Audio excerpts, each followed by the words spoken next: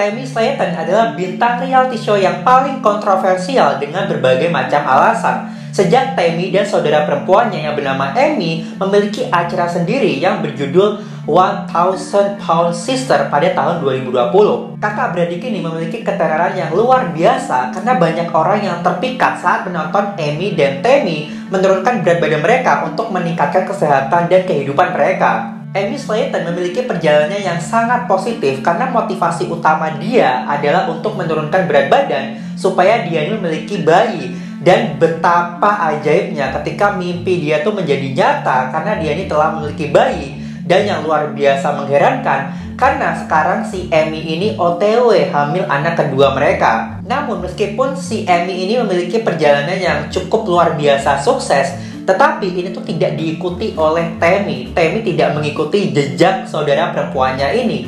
So, di video kali ini kita akan membahas kebenaran gelap di balik kisahnya Temi Slayton. So, pertama-tama adalah Temi ini lahir pada tanggal 25 Juli tahun 1986 di Indiana. Jadi sekarang usianya sekitar 35 tahun. Dan saudara perempuannya si Amy juga lahir di Indiana. Namun dia ini pindah ke Kentucky bersama ibunya bernama Darlene sejak usianya masih sangat muda gitu. Tammy dan Amy ini memiliki perjalanan yang cukup luar biasa, struggle banget karena ibunya ini kayak memiliki tiga pekerjaan hanya untuk memenuhi kebutuhan mereka ini. Wow, berarti memang ibunya tuh strong woman dan independent kayak single parent membesarkan dua anaknya. Jadi akhirnya Tammy dan Amy ini kayak dibesarkan sama nenek mereka. Ya semuanya baik-baik aja, everything is good. Dia dibesarkan dan tumbuh bersama neneknya. Tapi sayangnya neneknya kemudian meninggal saat usia mereka ini masih cukup muda. Dan posisinya si ibunya Darlene ini masih terus-terusan berada di tempat kerja hanya untuk mencari nafkah demi kedua putrinya ini ya mau gak mau akhirnya Temi dan Emi ini harus menjaga diri mereka sendiri dan mereka ini mengatakan bahwa mereka ini hanya perlu makan untuk bertahan hidup. Banyak orang yang berspekulasi bahwa ini adalah hal pertama yang memulai kebiasaan makan Temi yang tidak sehat. Karena makanan menjadi bagian yang sangat penting bagi Temi dibanding orang-orang di luar sana ketika kita merasa ya makan ya makan. Tetapi bagi Tem ini makan ini harus banget. Jadi setiap hari tuh memang harus makan terus. Terus Temi dan Emi ini mereka ini kayak terus-terusan tinggal bersama bareng-bareng terus. Hingga akhirnya pada tahun 2014 mereka ini memulai membuat channel YouTube di mana video-videonya tuh berisikan kayak vlog keseharian mereka atau mereka ini kayak menjawab pertanyaan-pertanyaan dari fansnya Nah, fansnya mereka ini adalah kekuatan utama yang mendorong ketenaran mereka. Karena banyak fansnya ini yang mengirim klip-klip ke TLC. Nah, TLC ini uh, stasiun televisi gitu guys. Dan dengan sekejap mata, dua, akhirnya Tammy dan Amy ini kayak dibuatkan acara sendiri yang bernama 1000 Pound Sister. Jadi, The Power of Netizen, dia viral, akhirnya stasiun TV ngelirik, dan dibikin program sendiri. Wow, memang ini keberuntungan mereka nih. Series ini dimulai pada tahun 2020 dan sejak pertama ini si Amy ini jauh lebih termotivasi daripada si Tammy. Dan sebenarnya Tammy ini memiliki kondisi yang sangat buruk. Ini sangat buruk guys, karena Tammy ini mengatakan dokter telah memberitahu dia kalau misalkan dia tidak bisa menurunkan berat badan sesuai yang dianjurkan, dia memiliki peluang 80% untuk meninggal dalam lima tahun ke depan. Keluarganya tentu menjadi sangat khawatir akan kondisi kesehatannya si Temi. Apalagi episodenya ini kan panjang banget kan acara mereka ini. Jadi kayak takut kecapean, takut semakin drop gitu loh guys. Akhirnya ini menyebabkan si Temi ini dimasukkan ke fasilitas rehabilitasi pada awal musim ketiga acara mereka ini. Dan untungnya si Temi ini berhasil menurunkan berat badan sekitar 100 pound. Tapi guys, setelah kayak dicek-cek, diperiksa. Nah, dia ini kurang 40 pound untuk kayak diturunkan dan supaya memenuhi syarat untuk melakukan operasi penurunan berat badan. Wow, berarti penurunan berat badan bisa dioperasi ya guys. Mungkin karena si Temi kondisinya udah kayak berlebihan banget makanya harus dilakukan operasi. Ini adalah salah satu keputusan yang salah yang dibuat si Temi dan banyak fansnya itu kayak yang marah gitu sama yang dilakukan oleh Temi ini. Nah contohnya dari beberapa ribuan komentar ada yang mengatakan Anda tidak dapat mengubah seseorang yang tidak ingin berubah. Dia sangat menikmati gaya hidupnya, sehingga dia lebih suka menanggung akibatnya daripada menyerah. Dia mengharapkan kebaikan dan pengertian dari semua orang, tetapi dia tidak ada yang memilikinya. Ini adalah keajaiban bahwa dia bisa berdiri dan berjalan. Setelah semua ini terjadi, bukannya si Tem ini kayak menjaga berat badannya supaya tetap balance. Enggak guys, tetapi justru Tem ini banyak makan terus, hingga akhirnya dia nambah lagi nih berat badannya sekitar 50 pound dalam waktu satu bulan saja. Wow, ini orang nggak kapok-kapok gitu.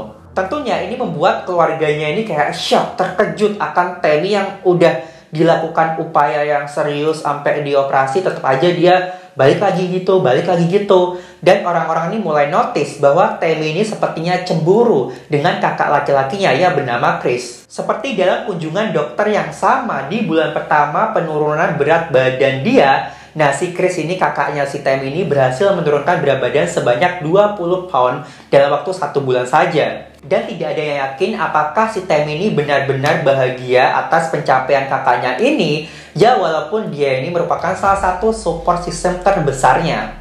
Kekhawatiran akan tubuhnya Tem ini kayak udah paling atas gitu loh. Karena bener-bener si Tem ini hidupnya tuh antara ada dan tiada gitu. Sampai akhirnya dia nih membutuhkan tabung oksigen untuk membantunya bernafas. Ya meskipun kondisinya sudah buruk banget sampai-sampai dia perlu tabung oksigen untuk bernafas, tetapi Tem ini tetap melakukan semua kegiatannya. Bahkan kayak sempat party-party gitu, nggak ngerti lagi deh.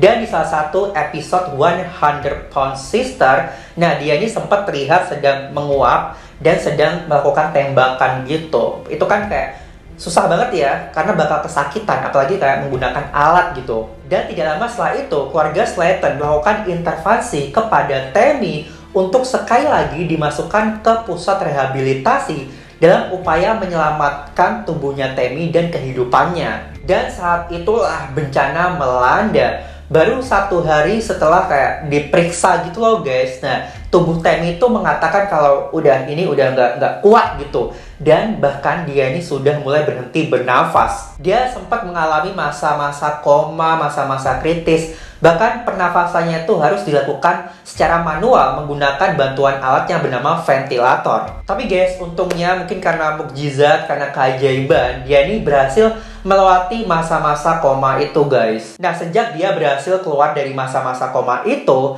Natem ini sudah tinggal di fasilitas rehabilitasi dan secara perlahan-lahan dia ini mulai meningkatkan kesehatannya dan menurunkan berat badannya untuk menjaga kehidupannya ini guys. Tetapi orang-orang ini masih prihatin, khawatir karena orang-orang ini tidak tahu sebenarnya apa yang terjadi sama Temi ini. Dan dalam postingan terbaru di Instagramnya Temi, orang-orang tuh masih memiliki kesan kepada Temi kalau Temi ini tidak terlalu serius menganggap situasi ini. I mean dia ini tidak terlalu peduli sama kesehatannya sendiri gitu loh guys. Dan kalau misalkan kalian perhatikan foto dia, dia ini kayak memakai satu selang gitu di tenggorokannya di lehernya yang bernama tracheostomy.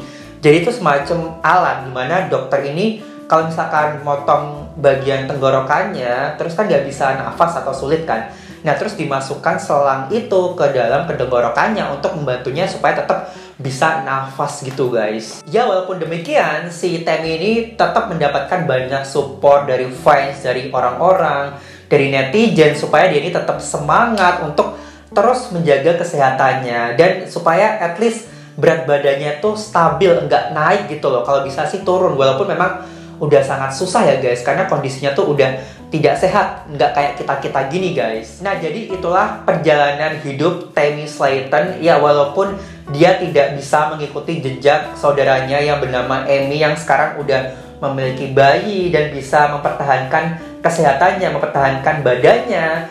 Ya semoga hopefully makin lama si Tammy ini bisa berubah dan bisa menjaga kesehatannya dan memperhatikan tubuhnya sendiri. Nah, gimana menurut kalian tentang kisah perjalanan hidupnya si Temi ini?